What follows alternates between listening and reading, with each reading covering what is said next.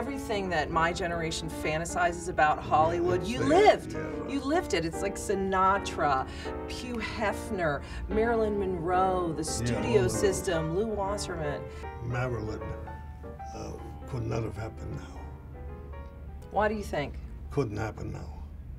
Not with the news, Right. not with press, and certainly not with this town. This town had seen everything. If a girl like Marilyn came along now, she'd be uh, Mitzi Gaynor. They would just not. Do you, like, And, uh, our mores are so far ahead of that. We'd say, okay, Marilyn Monroe, next. You know, we experienced it. I know. Well, there can't be another Tony Curtis. Well, I certainly hope not. Yeah. I get regenerated every weekend. It's great. How is the? Uh, you're here to talk about Sweet Smell of Success, obviously. Whatever and- you want to talk yeah. about. All right. Talk a little bit about your book. How it was kind of torturous. The director was very specific. But did you have any concept that this many years later it'd be considered one of the best at films? all. Number one, you couldn't make a movie like that. Number one, you couldn't have lived that period of Mm-hmm. time. How do you live that period of time when Hedda Hopper says to me on the phone, I'm going to kill you in this town.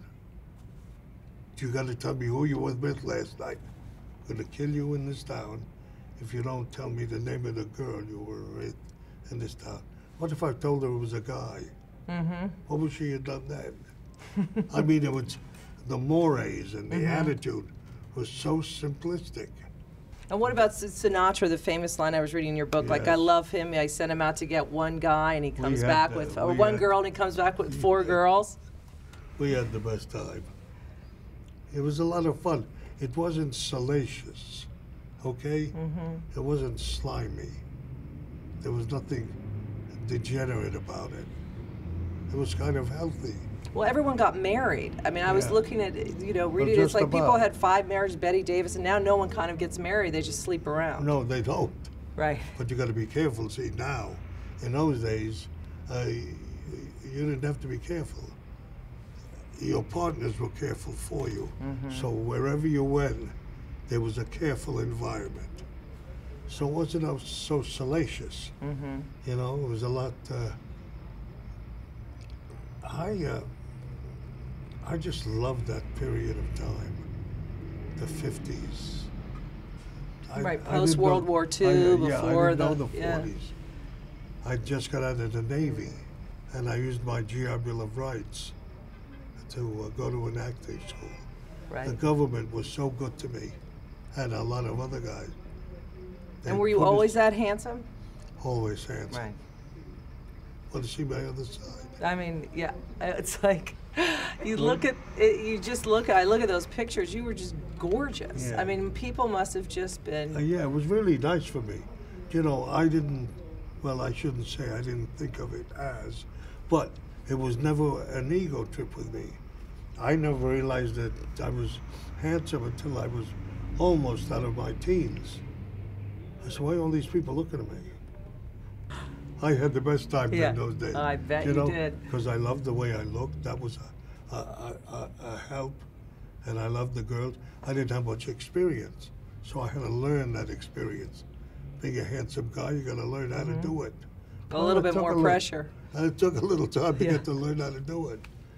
But it was fun. I, you know, I, it was never a negative thing. I, I never got girls in trouble.